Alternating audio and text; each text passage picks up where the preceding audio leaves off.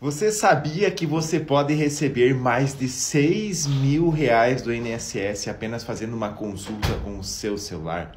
Nesse vídeo eu vou explicar para você como você pode consultar valores que você tem a receber do INSS que não passam em lugar nenhum na televisão nem no jornal. Eu já ajudei milhares de pessoas aqui a receber esse dinheiro e eu vou ensinar você. Então, presta muita atenção, pois essa consulta é simples, rápida e prática.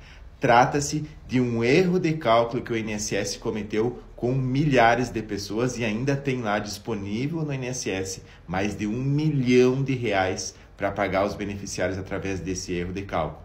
Os beneficiários que receberam benefícios do INSS entre 2002 e 2009 ficaram prejudicados com os cálculos das suas aposentadorias, dos seus auxílios. Então, você, para consultar esse benefício, você digita no Google blog da João Financeira, artigo 29.